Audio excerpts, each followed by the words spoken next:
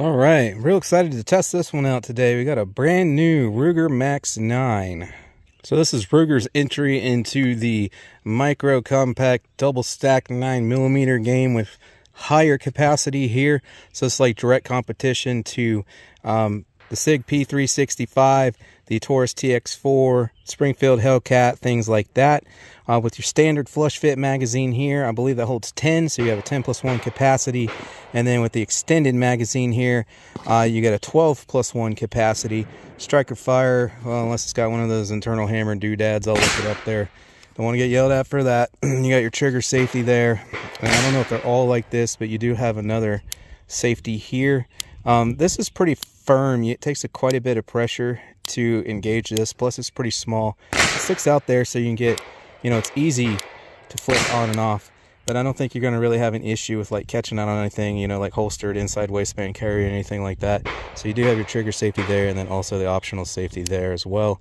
But like I said, it's small and it takes quite a bit of force to uh, activate it. So these do come optics ready there, okay? And the sights are a little higher up on it, so I believe that's so you can get like a one-third co-witness. So if you have a small enough and low enough red dot there, uh, you'll still be able to see the iron sights in the bottom half of the uh, red dot if you choose to run an optic on there.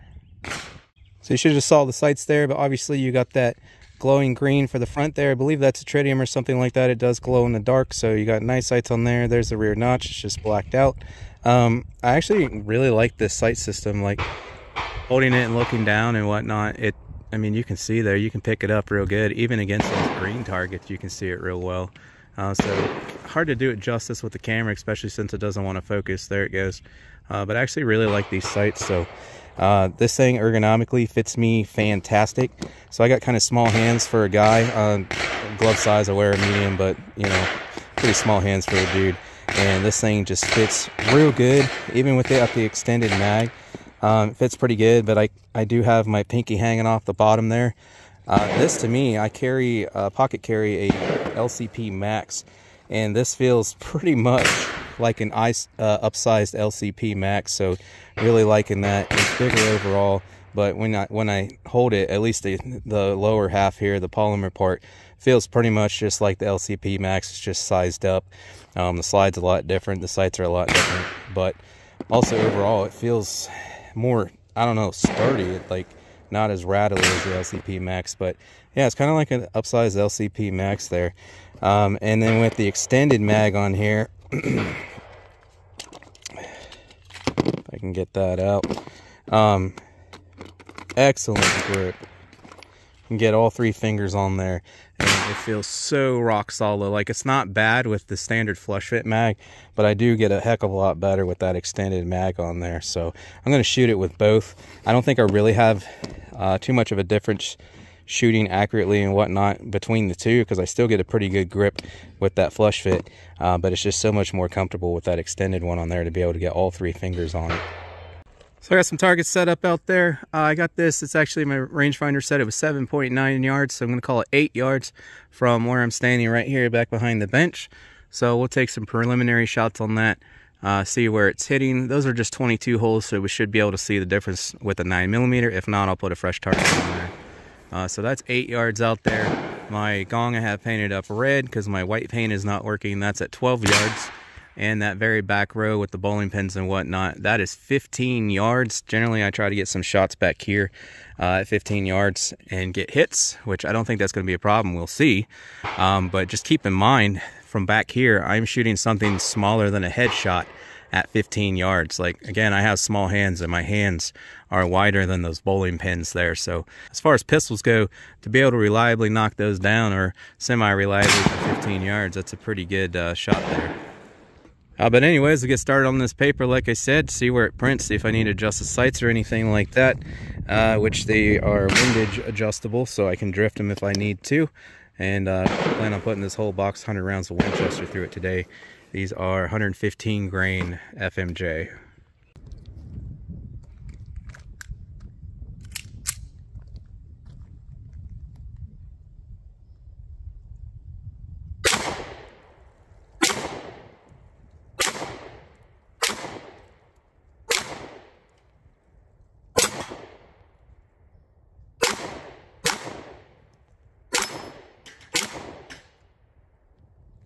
Should be able to see there on that target. It was actually grouping pretty nice, especially for my very first shots.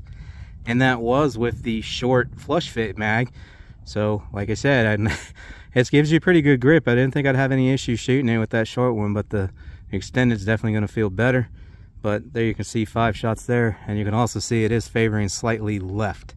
So I don't know if I'm going to adjust that. I might mess with that later. I'm kind of on a time constraint here. So for the time being, I'll leave it as is and I'll just aim slightly right. Um, like I said, the sights are adjustable for windage, so I can fix that no problem. Now, but let's go out here and hit some of the steel.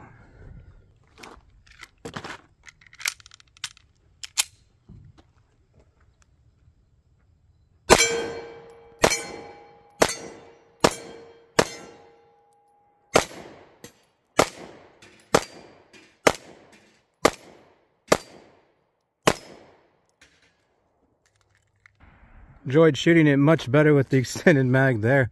I started out on the gong there for those shots. Uh, you can see they're pretty much dead center. I got rowdy with two of them there, flung them off to the left. And then I started hitting these bowling pins and whatnot back here.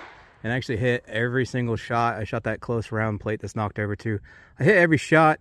Uh, that one I, I nicked or something. It wiggled but did not go down. Then I hit the next one over there. So I actually hit every one of those shots without missing. So the whole off to the left thing there, it might just be me pulling slightly with these because uh, I didn't really aim off to the right or anything. But then again, if I hit the left edge, it should still knock them over. But uh, it was definitely a lot more comfortable with that extended mag. But I mean, as evidenced by that target there on the first shots, again, with the flush fit, it's still no problem shooting. I can hang on to it very well. It just feels like a completely different gun with the extended one on because you can get all three fingers on it.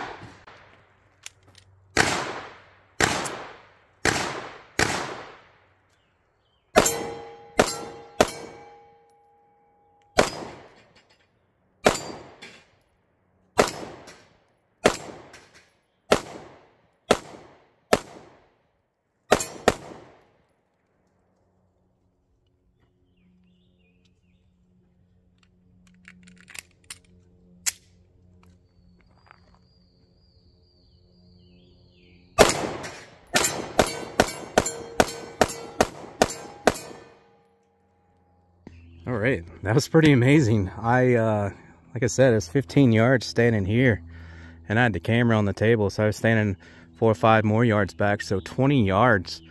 I knocked all those down without missing. I'll get some of this on camera for you guys, but got every single one of those without missing, except for that last one gave me trouble.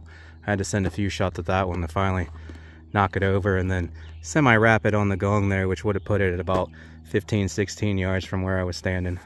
And this thing it's got these little stubby sights on it, which I like for close range. They're not real, you know, like precise pinpoint. You got a short sight radius there, and uh, the sights on it are a little stubbier than some others.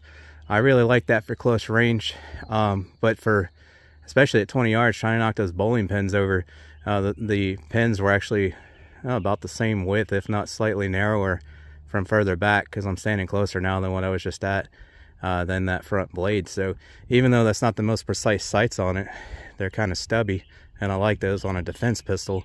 I was still knocking those over at 20 yards pretty consistently. Uh, also, don't forget, many of those shots were with that flush fit mag. So yeah, it's not too bad, even though we got the pinky hanging off there. Really liking this thing so far. Recoil on it is what I would describe as snappy because, you know, it's pretty lightweight. So it does give you a decent amount of recoil for a 9 millimeter, but it's, you know, it other than being snappy, it's pretty manageable. I'm not having my grip slip or anything like that.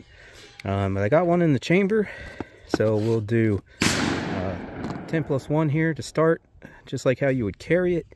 Um, I did want to note, before firing this, I could not get the slide release to work. I figured it'd loosen up after I shot a few rounds through it, which it did. So I'm now able to push down that and release the slide uh, with my thumb. So that's currently not an issue now that I fired a, a few rounds through it. But at the house before firing it, it was it was sticky. It didn't want to go, but it's not an issue now. Um, so I'm just going to stand back behind the camera here, 15 yards to the back row, pace myself and see what I can do.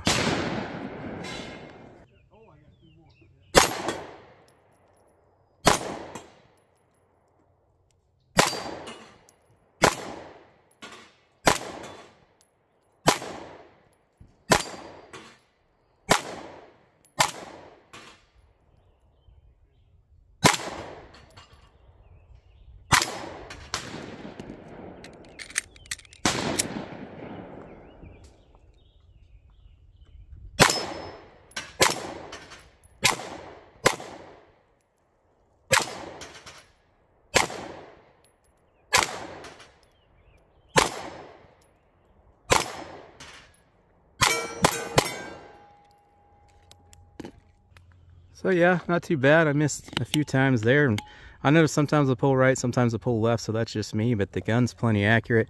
My hand's getting a little sweaty. I've been out here for a few hours in the full sun. It's about 80.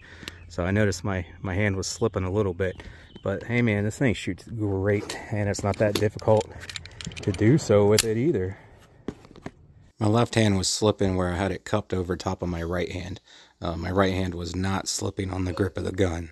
All right, so she ran 10 plus 1, no problem. So this time I'm going to lead with the extended mag. So we're at 12 plus 1, got one in the chamber like you would carry with the extended mag. Make sure there's no issues there.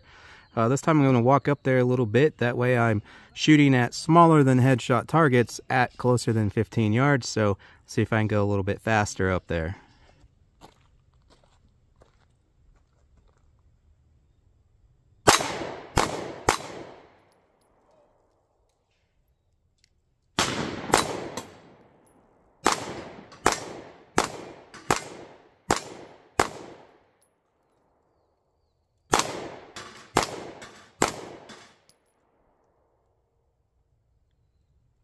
We're going low.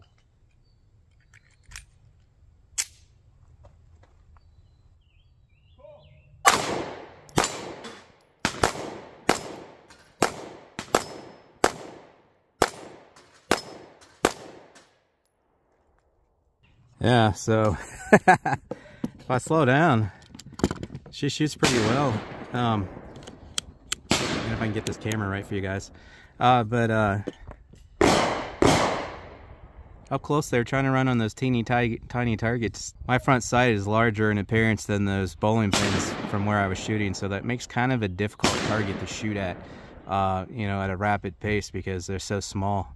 I also noticed that it seemed like it was going low. I heard it hit the rail that those things are attached to a few times. So, uh, you know, I noticed out here, like I said, um, those were hitting pretty much, other than they were slightly left for me, they were hitting like like a center hold. You know, pistol is usually a six o'clock hold, but those are hitting like a center hold. And then when I got closer uh, up there, seemed to be, I don't know, maybe I pulled some low, but seemed to be shooting a little low for me. So I had to start aiming higher to start hitting those at that closer range there. I think up close you got either a center hold or slightly low from uh, point of aim.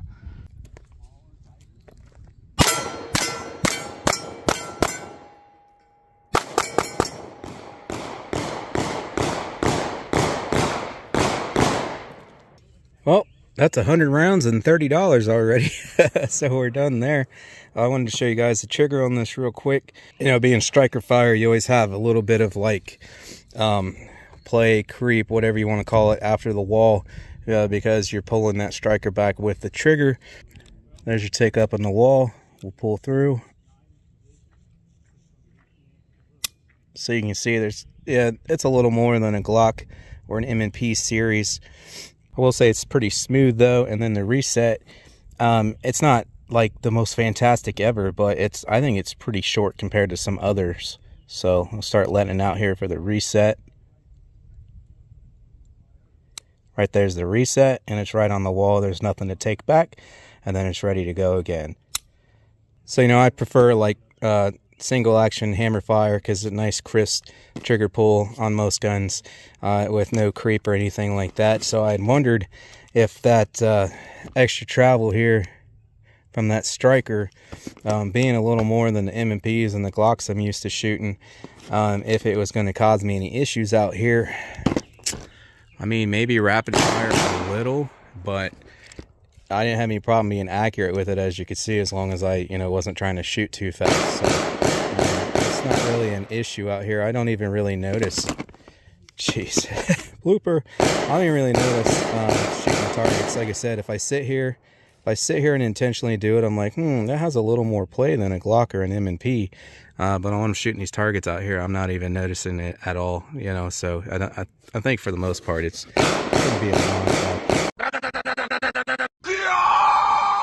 Bang, bang, bang, bang, bang. It's difficult recording videos at because that see that happens if they're close enough my microphone goes out for a second so i gotta like stop talking and wait or you guys can't hear me. Now i forget what i was saying. I got diarrhea. Anyways i really like it. Um i'm okay with the trigger. It's not like a fantastic trigger. It's not a terrible trigger. It's not bad at all. It doesn't cause me any problems. I'm impressed with the accuracy of this thing.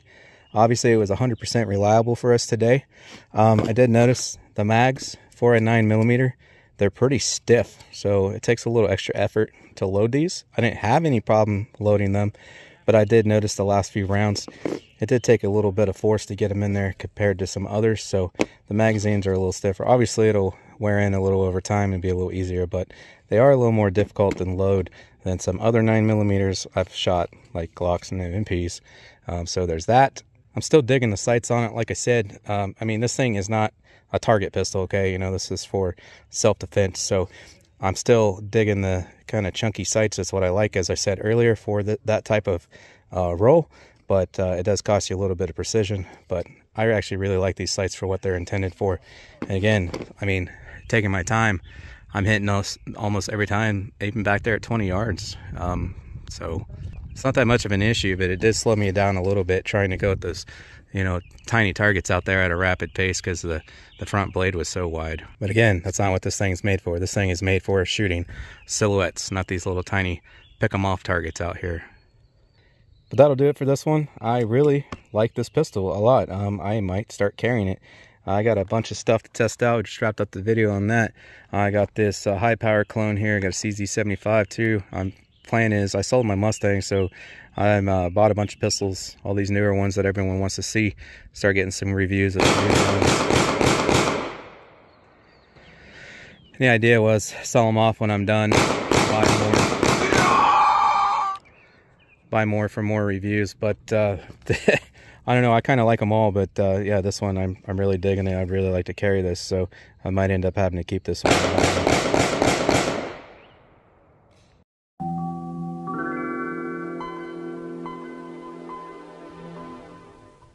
That's going to do it for this one, guys. Really like it. Get yourself any of the products you see me using my videos, like my safety glasses, uh, laser rangefinder there, target stand, paper targets, steel targets, and more. Links in the description. While you're here, check out some 9mm gel tests on the uh, 9mm gel test playlist. You can find them all quick access that way if you want to check them out and not have to search through a thousand videos. But I want to thank you guys for watching, and I hope to catch you on the next one.